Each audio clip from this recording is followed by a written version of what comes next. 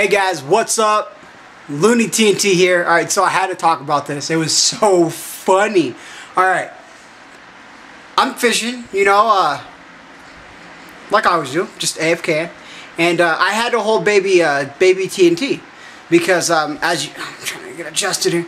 As you guys know, my wife um, and I and the kids are going on a trip. So, my wife's uh, doing, getting, putting some stuff or something in the truck. So I was holding baby TNT. Now, you know, I'm sitting there, you know, typing. All of a sudden, baby TNT does this.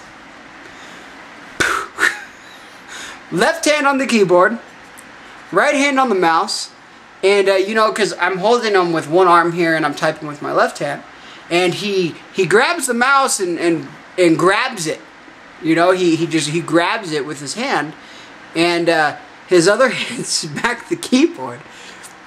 Then the next thing I see was um, uh, small pants. You have successfully kicked small pants or something. All right. Okay, I'm not gonna start laughing again. It was hilarious, and uh, then my uh, my uh, RuneScape closes, and uh, you know I'm sitting there, you know, like what the heck just happened? That was Baby TNT's first um, RuneScape experience. He kicked small pants. He kicked him right into the friends chat. All right, uh, so um, I was laughing for a good five minutes. It was small pants. I'm sorry.